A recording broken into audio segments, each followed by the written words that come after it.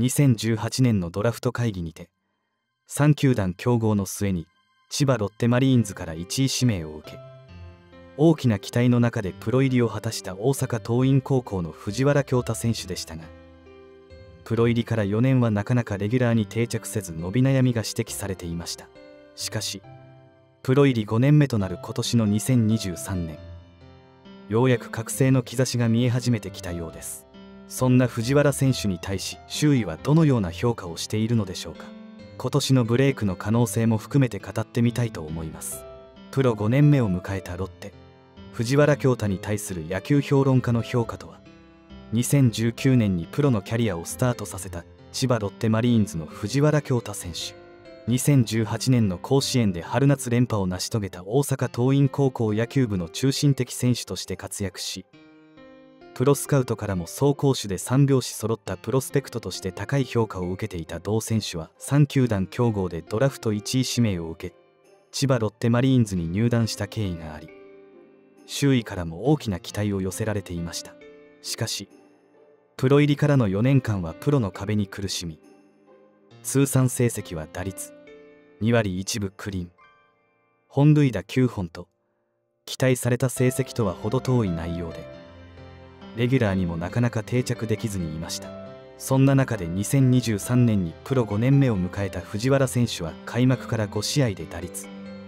4割3分8厘とバッティングの好調ぶりをアピールしました。2023年4月5日に千葉ロッテの本拠地である ZOZO マリンスタジアムで行われた北海道日本ハムファイターズ戦で9番センターでスタメン出場を果たした藤原選手は3打数2安打と結果を残しました。その内容として3回裏にはレフトへの二塁打を放ちそして0対1のビハインドで迎えた7回裏に相手投手から11球を投げさせるほどファールで粘りを見せ12球目でしぶとくピッチャーへの内野安打を放ち出塁した藤原選手はツーアウト満塁の場面で相手投手の暴投の間に2塁から持ち前の俊足を飛ばし見事に逆転の2点目のホームベースを踏むなどその試合のお立ち台に上がる活躍を見せたのでした。そんな藤原選手のバッティングについて野球解説者の苫篠健二氏は去年と違って右足の踏み込み方に余計な力が入らずすっと着地している感じになってますね。バットを握るグリップも背中側に入らずフォームがシンプルになって球がよく見ていると思いますと評価し同じく野球解説者の真中満氏もプロの打撃のコツをつかんだのではないでしょうかと苫篠氏の評価に同調したのです。さらに2023年4月9日に本拠地 ZOZO マリンスタジアムで行われた東北楽天ゴールデンイーグルス戦では4打数2安打1本塁打3打点を記録した藤原選手について野球解説者の斉藤昭夫氏はストレートに差し込まれることもありましたが今日の藤原選手は粘りがありましたね。臭い球をファールでカットしつつ相手投手の失投を逃さず捉えられていると思います。配球の読み方が上手くなってると思いますね。と評価しそして同じく野球解説者の高木豊氏は去年とは打ち方が変わって本物になってる感がありましたね。打球を引っ張ることで右肩が残ってヘッドを使う打撃ができていますね。と藤原選手の成長を認めるコメントを残しました。そしてこの開幕からの好調ぶりが決して偶然ではないと思わせる根拠として2023年の春季キャンプでのフリーバッティングで豪快なスイングからライト方向。またはセンター後方への柵越えの打球を連発しておりこのバッティングを目にしたロッテファンからはすごくいい感じでバットが触れていて驚いた。これは外野のレギュラー争いが楽しみなものになりますね。藤原京太の完成形はソフトバンクの柳田悠岐というような今年の藤原選手の覚醒を期待する声が多く聞かれたのです。また今年から打撃コーチとして元横浜。巨人で活躍しプロ通算で360本塁打を放っている村田修一氏が就任したことやロッテ春季キャンプの臨時コーチとして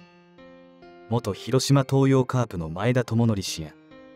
元読売ジャイアンツで現一軍巨人ヘッドコーチの安倍晋之助氏を育てたことで有名な内田純三氏が帯同しており元スラッガーのコーチや名伯楽と呼ばれる名コーチの指導を受けたことが大きいのではないかとファンの間ではささやかれており内田コーチの指導のおかげで良くなってる気がします。村田。内田良コーチの言葉を信じてがむしゃらに頑張ってほしい。藤原選手は流し打ちの単打を求めるような打者ではありませんから。というようなコメントも見受けられたのです。そしてそんな藤原選手がプロ入りから4年間で苦しみながらも得たものは何なのでしょうか。ロッテ。藤原恭太がプロ入りから4年間で得たものとは。開幕から好調を維持し続けている藤原恭太選手について2018年のドラフト会議で千葉ロッテマリーンズの一軍監督として交渉権を引き当て藤原選手のプロ入りから4年間でその姿を見続けてきた。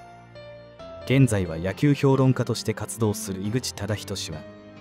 ここまでの彼を見ていると来たボールに対して無理に振ろうとするのをやめてしっかりとアプローチをすることを心がけているのが分かりますね。去年まではフルスイングでホームランを打つまいとしていたのが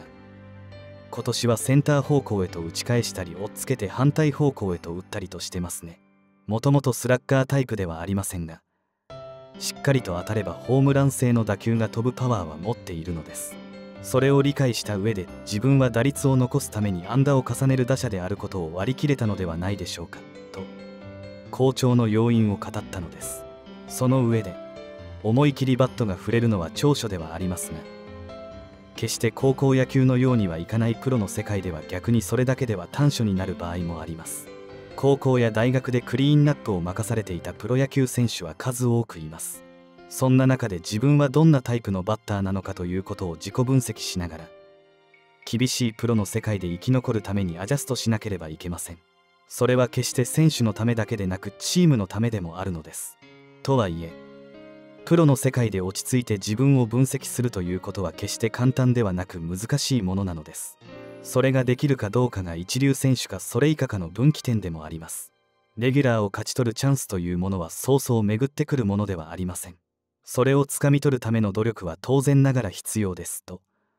プロを生き残るために必要なことを語ったのです。この冷静に自己分析を行うことができることこそが苦しみ抜いた4年間で藤原選手が得たものであると。井口氏は分析しました。